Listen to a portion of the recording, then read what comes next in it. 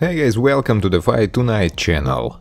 Teofimo Lopez talks Gervonta Davis versus Rolando Romero, says Romero has enough to be Tank. Former lightweight title holder Teofimo Lopez coached up with fight hype and shared some quick thoughts on the upcoming fights between Gervonta Tank Davis and Rolando Rolly Romero. And while the betting odds are clearly in favor of Tank, Lopez says he believes Rolly has the attributes to pull off the win. Lopez on who he's got in the Tank Rolly fight. I've got the fight fans, of course, and I'm gonna go for Rolly. He works hard, he has enough to beat Tank. I mean, Rolly is right about one thing, they've been putting Tank with guys. They know that's not gonna give him that up-notch competition. Right now Rolly is the one giving him that up-north competition because of the power, because of the match and because he is fighting a real 135 pounder. And Rolly is awkward and it's hard to find an awkward fighter. I don't care how sadistic you are. I know these guys are training their asses off. They are gonna put all the hell of a performance. I know Rollies. I know Tankies,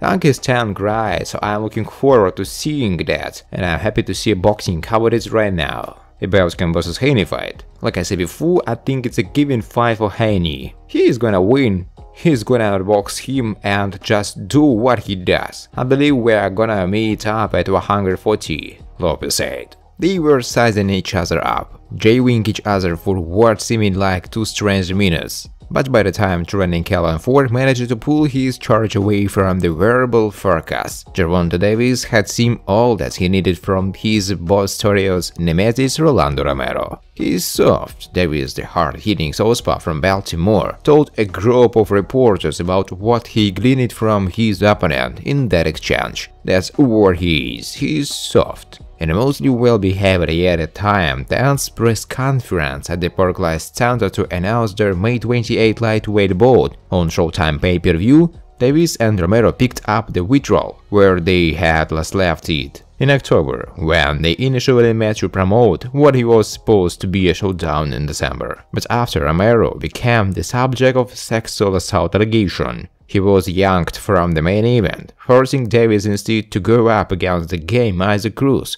whom he won a beating by unanimous decision. Yet upon the conclusion of a police investigation, the Las Vegas-based Romero announced that, if relatively experienced puncher himself was not charged with a crime, that motion paved the way for Rolly to get a second chance to go up against a fighter that many observers regard as one of just a handful, if that, of legitimate boxing draws in the United States. Neither man likes the other very much, and they reminded each other of their animosity. Tuesday afternoon on the dais as they headed questions from host Brian Custer. You see his nose, right? Davis 27 said. If I hit him with one of those, I'm gonna knock his wild nose off. Look at his nose. His nose is like really small. May 28, you're getting knocked out, Romero 26 retorted. We're ending your little reign. You can go retire. And that's that, said Rolly. Kings County's new territory for Romero, whose father was a well-regarded boxer from Cuba,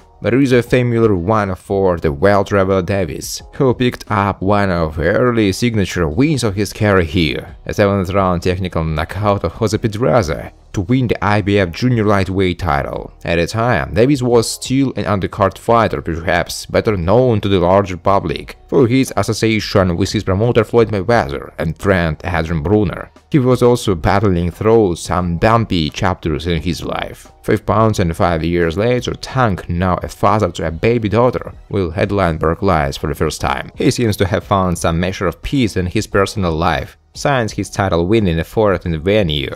His recent tweets concerns his promoter, however, suggests that there might be some trouble afoot. Davis refused to answer queries on that issue, and he's come into his own, touting a public persona seemingly undisparate from the Money May brand. He has emerged, moreover, as a bona fide boxing attraction. No small feat given how the sport has lately struggled to maintain its hold on the mainstream. We know what we came here to do. Said as told he were a grizzled veteran. This is not the first time we have been here. One thing is for sure, Romero has never been here. In their press conference last October in Los Angeles, the Brush and Claudia Romero very well may have stolen show. He showed up in the noonday heat, wearing an oversized four-cut strange out of the Mac, opening up to reveal no shirt, only abs. In Brooklyn, where it was wet and dreary all day, Romero was decked out in a similar sartorial concept, wearing a colorful, almost psychedelic Dolce & Gabbana suit and it was, once again unbuttoned to showcase his bare torso. It's different when they talking on social networks or anything like that, Davis said. Thanks for watching guys, if you like this video please subscribe to my channel.